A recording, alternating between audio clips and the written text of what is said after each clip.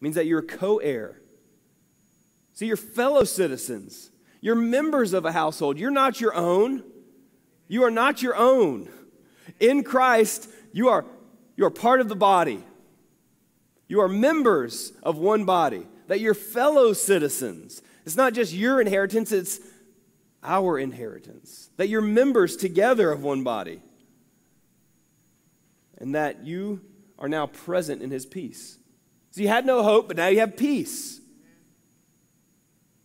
Even more so, you become a dwelling place for God Himself.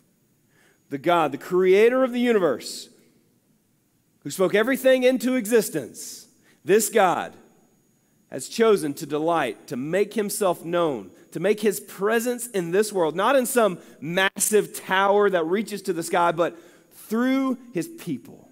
That's how He makes Himself known. That as God's people, you've become not with God, but His very dwelling place. That's who you are in Christ.